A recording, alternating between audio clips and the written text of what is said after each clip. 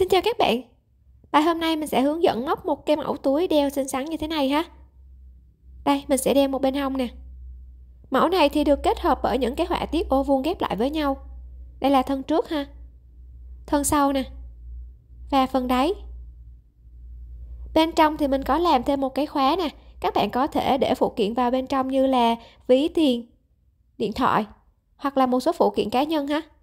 Và khóa lại sau đó mình sẽ đeo ở bên hông nhé. Đây là phần dây của mình phối để đeo bên hông nè. Hoặc là các bạn thích thì cũng có thể phối dài sợi dây ra và mình có thể đeo chéo cũng được ha. Mình sẽ sử dụng sợi dệt màu trơn. Sợi dệt của mình nó sẽ có độ dày tầm khoảng 1.5 cho đến 1.75 mm và kim móc để móc thì mình sử dụng kim hai đầu nè. Mẫu kim của mình là mẫu kim đầu 3 và 4 ta dùng đầu số 4 tương đương với kim 2,5 mm những bạn nào mà sử dụng loại len khác thì các bạn sẽ sử dụng cho mình những loại kim, có cái đầu kim mà khi mình so sánh với cái sợi len.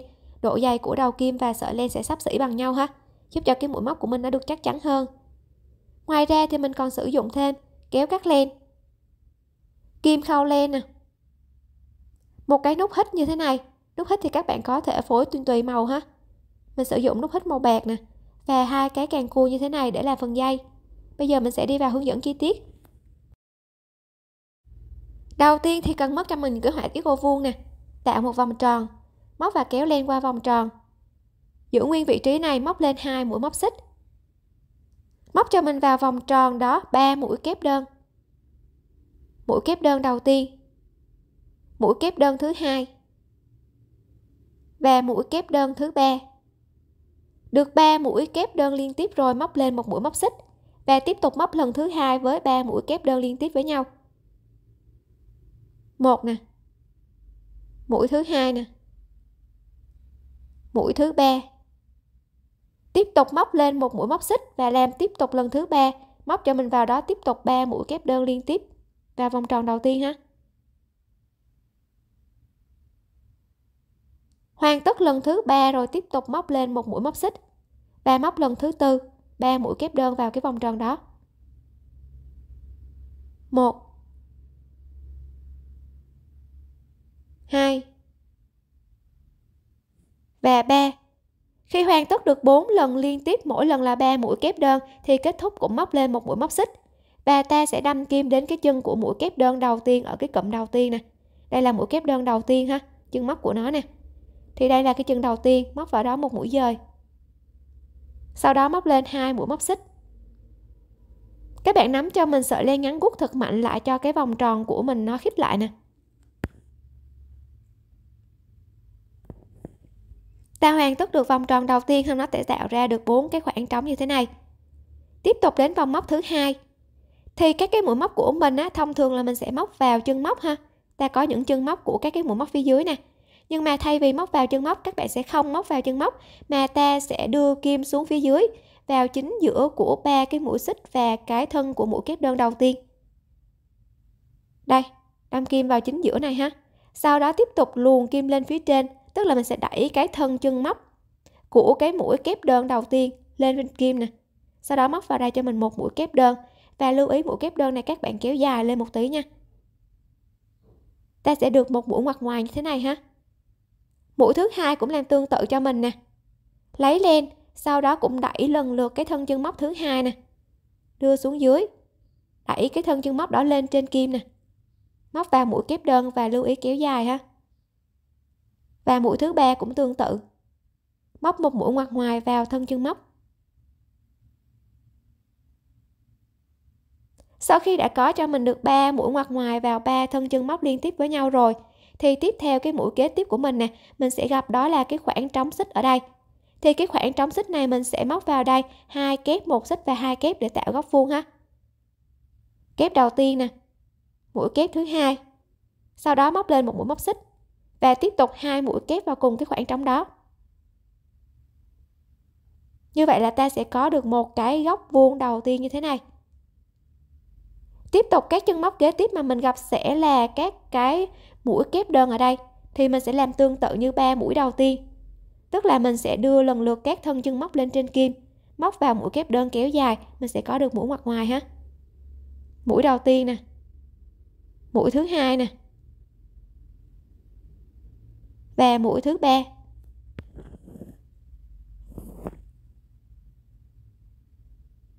Được 3 mũi rồi thì tiếp tục sẽ là cái khoảng trống mà mình gặp. Thì khoảng trống này sẽ móc một góc vuông tương tự như góc vuông đầu tiên. Ta sẽ có hai kép. Một mũi móc xích và hai mũi kép. Ta được góc vuông thứ hai ha. Và các bạn sẽ làm tương tự cho mình, cho các chân còn lại cho đến cuối nè mũi kế tiếp mà mình gặp sẽ là ba cái mũi kép đơn ở đây. Thì mình sẽ lần lượt đưa ba cái mũi này lên trên kim ha. Móc vào mũi ngoặt ngoài nè. Lưu ý cái mũi của mình sẽ kéo dài lên một tí ha. Mũi thứ hai. Mũi thứ ba. Tiếp tục sẽ là cái khoảng trống thì sẽ móc vào đó một góc vuông gồm hai kép, một xích và hai kép.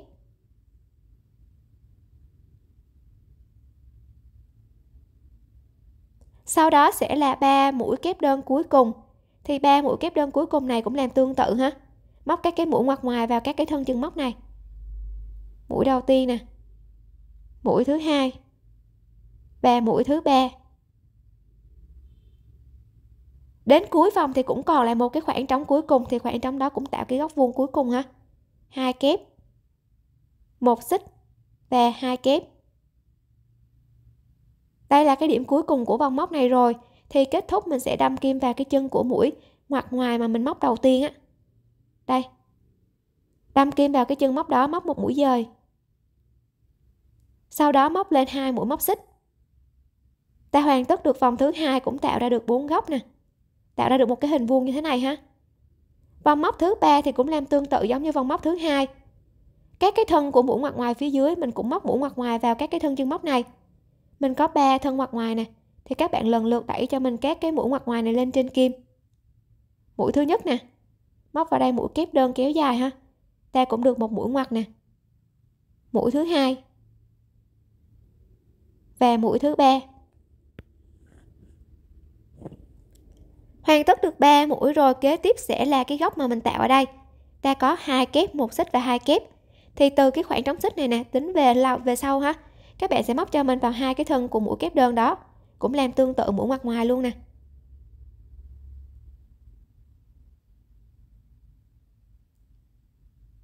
Hoàn tất được các cái mũi ngoặt ngoài như thế này rồi thì tiếp theo sẽ là cái khoảng trống xích. Khoảng trống xích đó thì mình sẽ móc các cái góc vuông tương tự như cái vòng phía dưới. Ta có hai kép. Một mũi móc xích và lên hai kép ta cũng có được góc vuông đầu tiên cho hàng móc thứ ba này ha.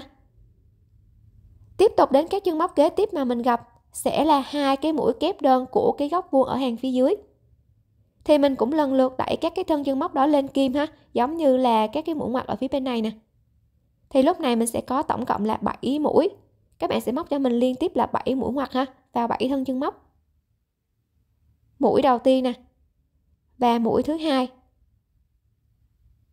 tiếp tục 3 mũi nằm chính giữa nè. Của cái mũi ngoặt ha. Lần lượt đẩy các thân chân móc lên kim, móc vào các cái mũi ngoặt ngoài. Lưu ý là phải kéo dài cái đường móc lên nhé. Sau đó sẽ là hai cái mũi kép của cái góc vuông kế bên nè. Cũng đẩy lần lượt các thân chân móc lên kim ha. Khi đã hoàn tất cho mình được các cái mũi ngoặt ngoài như thế này rồi, thì tiếp theo ta cũng gặp đó là cái khoảng trống để mình tạo góc vuông ha thì cứ gặp khoảng trống tạo góc vuông thì sẽ móc vào đó cho mình. Hai kép, một xích và hai kép. Mình sẽ làm tương tự cho các chân còn lại cho đến cuối vòng. Sau khi hoàn tất đến cuối vòng nè, cái khoảng trống cuối cùng cũng móc vào đó hai kép, một xích và hai kép để tạo góc vuông cuối cùng. Và cái hàng thứ ba này nó sẽ khác cái hàng thứ hai, tức là điểm kết thúc của mình không phải là góc vuông, mà là hai cái mũi kép đơn của cái góc vuông cuối cùng ở hàng phía dưới nè. Thì mình cũng móc vào hai cái thân đó, mỗi thân mình sẽ móc mũi ngoặt ngoài ha.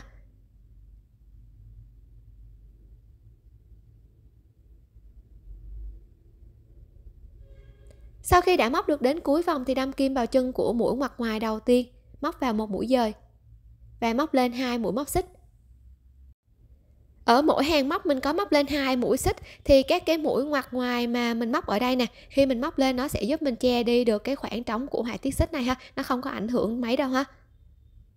Đến cái vòng móc thứ tư thì cũng làm tương tự cho mình, giống như vòng móc thứ ba nè, tăng cái độ rộng cho họa tiết ô vuông của mình.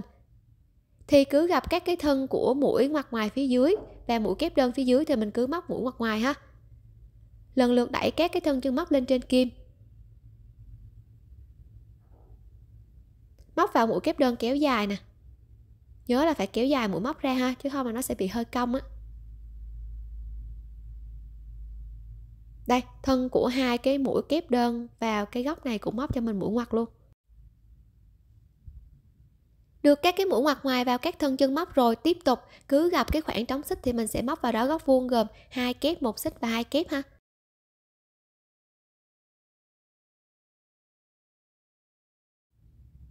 Làm tương tự cho các chân móc còn lại cho đến các cái mũi móc cuối cùng và mình sẽ móc thêm nhiều vòng móc tương tự như vậy nữa. Cho đến khi cái họa tiết ô vuông của mình nó đạt được cái độ rộng mà mình có thể phối được với cái túi sách mà size mà các bạn cần ha. Ở đây mình sẽ móc lên tổng cộng là 5 hàng móc nè, từ cái vòng tròn đầu tiên luôn ha. Ta có 5 hàng móc. Thì đây là mặt trái nè. Và mặt phải nó sẽ là các cái mũi ngoặt kéo dài nè. Đối với mẫu này thì các bạn sẽ móc cho mình tổng cộng là 8 cái họa tiết ô vuông như thế này ha. Sau đó mình sẽ tiến hành ghép các cái họa tiết ô vuông lại. Thì đặt cho mình nè, theo cái vị trí như thế này ha. 6 họa tiết và hai họa tiết bên hông nè. Các bạn sẽ sử dụng cho mình mũi đơn và mình sẽ viền lại ha. Mình sẽ nẹp lại toàn bộ. Đây, hai cạnh bên hông này sẽ nẹp lại với nhau nè. Mình sẽ nẹp cạnh thân hông trước ha. Đưa cho mình một góc của thân hông với một góc của cái thân trước lại nè. Đâm kim vào cái khoảng trống của cái góc vuông á. Ở hai cái họa tiết luôn ha. Sau đó mình sẽ đưa cái sợi len ra phía sau, kéo len qua khoảng trống và móc lên một xích. Và mình lần lượt đâm kim vào hai cái chân móc song song và đối xứng với nhau nè. Móc vào mũi móc đơn ha. Mũi thứ hai nè. Hai cái chân móc song song thẳng hàng với nhau móc vào mũi móc đơn, khi móc nhớ dấu len thừa để ta cắt len không phải dấu len nhiều ha. Làm tương tự cho các chân móc còn lại cho đến cái chân móc cuối cùng.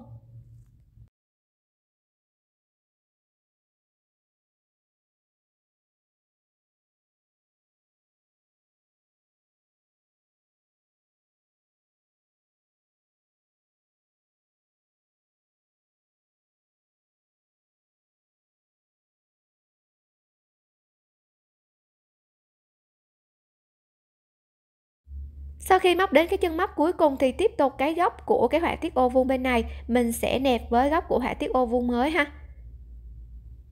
Hai cái khoảng trống của góc vuông nè, móc vào mũi móc đơn. Sau đó làm tương tự cho các chân móc còn lại. Mỗi chân cứ móc một mũi móc đơn cho đến cái góc này.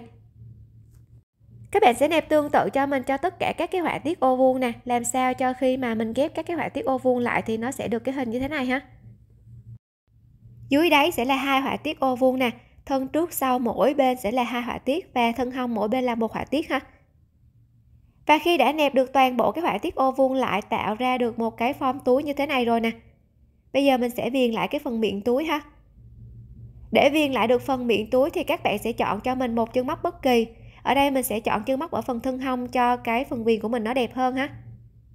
Các bạn sẽ chọn cho mình chân móc nằm chính giữa của phần thân hông một bên nè đâm kim vào một chân móc bất kỳ. Sau đó kéo cái sợi len này qua chân móc.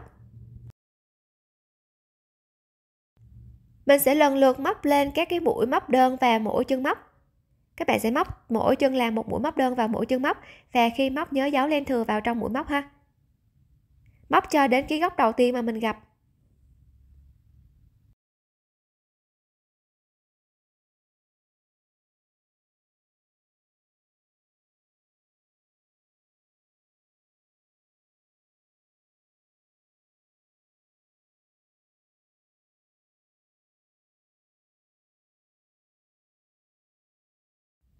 Khi đã móc được đến cái góc mà mình gặp ở đây rồi nè, để mình có thể nẹp lại cái phần góc này, ở đây ta có cái khoảng trống của ô vuông bên này.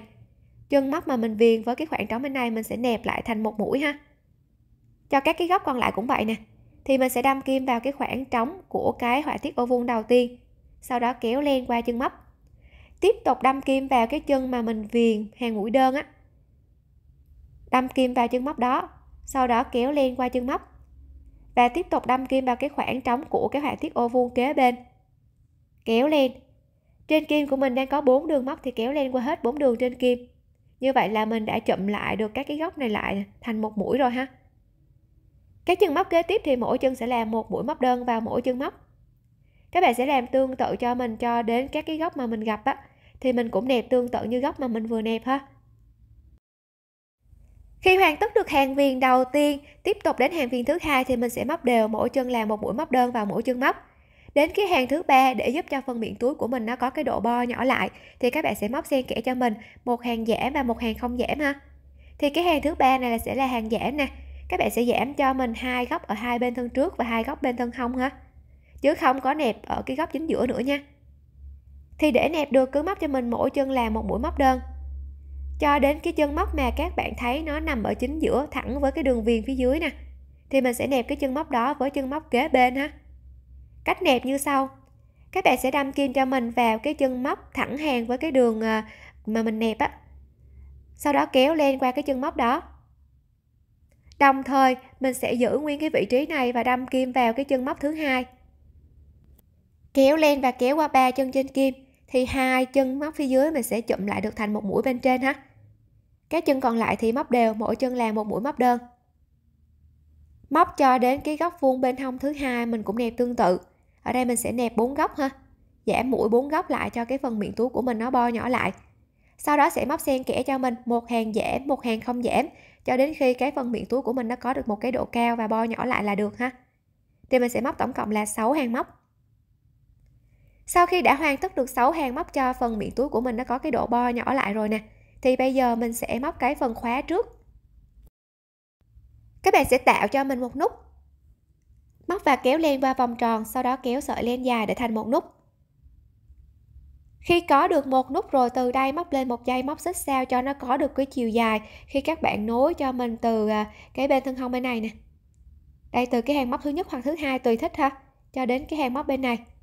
Ở đây mình sẽ móc lên tổng cộng là 15 mũi móc xích. 1 2 3 4 5 6 7 8 9 10 11 12 13 14 và 15 có được 15 mũi rồi. Ta được cái chiều dài nè. Mình nối hai bên lại ha. Nó đã sắp xỉ bằng rồi nè. Thì từ đây tiếp tục móc lên một mũi móc xích. Đâm kim vào chân 15 móc một mũi móc đơn. Và làm lần lượt tương tự cho mình, cho các chân móc còn lại cho đến chân cuối cùng mỗi chân ta cứ móc một mũi móc đơn ha.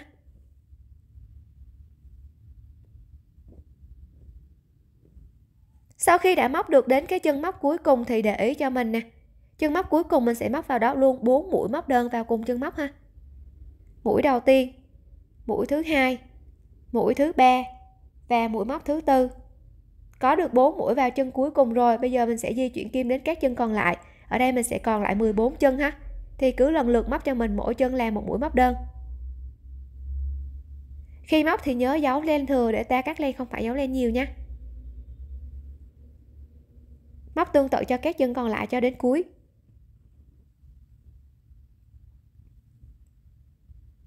Sau khi đã móc được đến chân móc cuối cùng rồi nè, ta được một cái độ dài của cái phần khóa như thế này rồi thì móc lên một mũi móc xích. Mình sẽ quay ngược đầu móc ha khi quay ngược đầu móc nè, thì các bạn sẽ móc cho mình mỗi chân là một mũi móc đơn vào mỗi chân móc. Đối với những bạn nào mà không có để ý được mũi móc á, thì ở cái hàng xích đầu tiên mình có bao nhiêu mũi, thì lúc này mình sẽ móc cái số mũi móc đơn ít hơn cái hàng xích một mũi ha. Mình sẽ có được 14 mũi móc đơn vào 14 chân. Mũi thứ hai nè. Mũi thứ ba. Mũi thứ tư vào chân thứ tư. Mũi thứ 13 nè và mũi thứ 14 có được 14 mũi móc đơn vào 14 chân liên tiếp, thì cái chân kế tiếp sẽ là cái chân đầu tiên của bốn mũi mà mình móc vào cùng chân móc của cái vòng phía dưới ha. Thì bốn cái chân liên tiếp đó, các bạn sẽ móc cho mình mỗi chân hai mũi móc đơn cùng chân móc. Chân đầu tiên móc hai mũi móc đơn nè. Chân thứ hai cũng tương tự, móc hai mũi móc đơn vào cùng chân móc. Chân thứ ba móc hai mũi móc đơn. Và chân thứ tư cũng móc hai mũi móc đơn. Khi đã hoàn tất được thì mình sẽ có tổng cộng là 8 mũi móc đơn ở cái góc này ha. Còn lại sẽ là 14 mũi móc đơn vào 14 chân móc nè. Móc cho đến cuối hàng ha.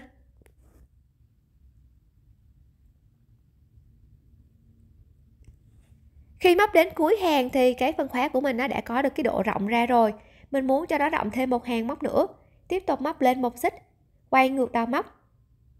Khi quay ngược đầu móc thì cũng làm tương tự như hàng phía dưới ha mình sẽ có 14 mũi móc đơn vào 14 chân móc. Mũi thứ hai nè. Mũi thứ ba. Mũi thứ tư. Mũi thứ năm.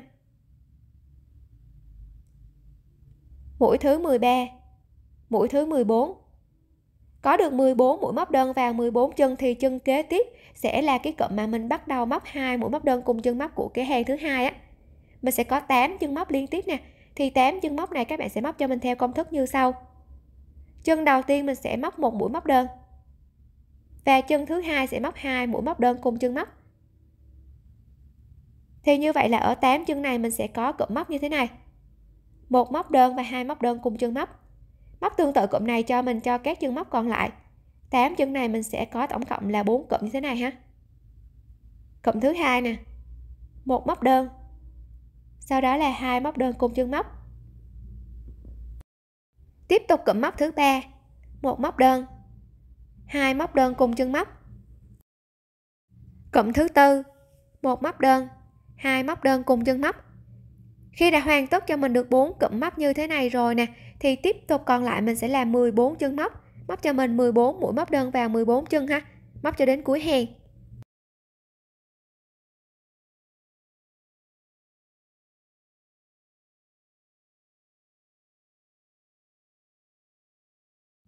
Sau khi đã hoàn tất được đến cuối hàng thì móc lên cho mình một mũi móc xích, kéo và cắt len.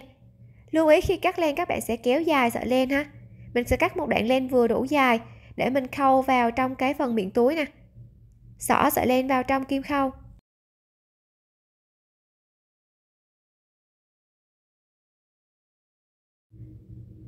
Khi khâu thì các bạn sẽ khâu cho mình giống như là cách mà mình khâu đồ thôi ha đây, để cho cái đường chỉ nằm chính giữa nó trùng với chính giữa của cái phân khóa nè. Sau đó mình sẽ khâu lại.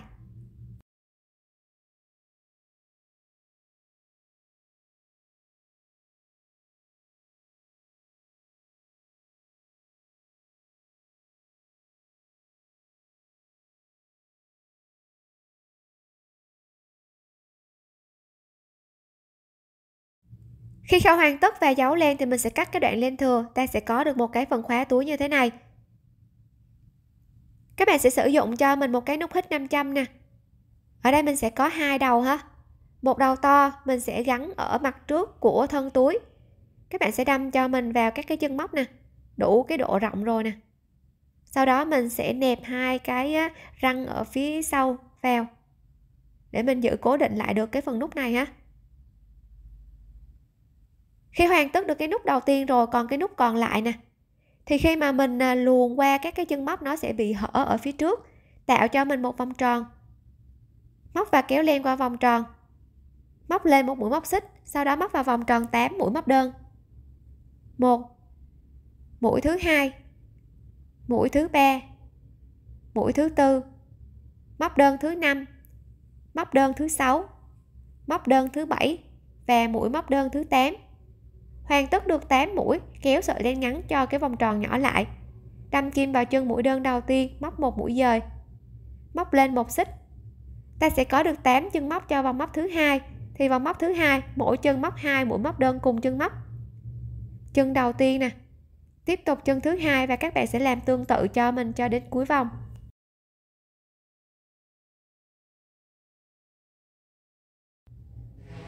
Sau khi đã móc đến cuối vòng thì đâm kim vào chân mũi đơn đầu tiên móc một giờ, sau đó móc lên một xích. Các bạn sẽ cắt cho mình một đoạn len vừa đủ dài nè. Lúc này hai cái vòng tròn mà mình tạo đó, nó đã bằng với cái kích thước của cái nút còn lại rồi ha. Ta đưa cái nút đó vào cái vòng tròn nè. Sau đó mình sẽ khóa cái nút này lại ở cái vòng tròn này. Các bạn sẽ sử dụng cho mình kim khâu, xỏ sợi len này vào trong kim khâu và mình khâu vào cái vị trí này ha bây giờ mình sẽ tạo cái sợi dây.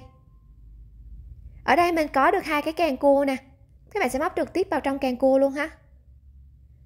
Sử dụng một đầu nè. Đưa cho mình sợi len ra phía sau. Các bạn sẽ tạo cho mình một nút.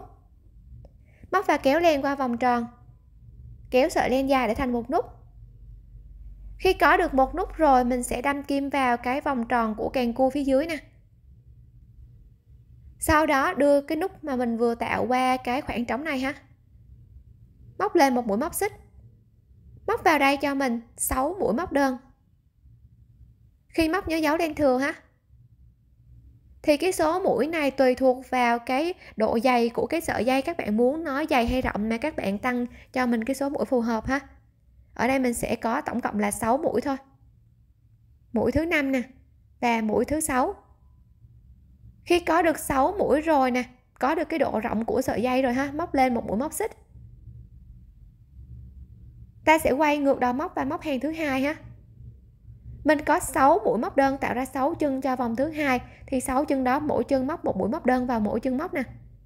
Chân đầu tiên nè, chân thứ hai, móc đơn thứ ba vào chân thứ ba.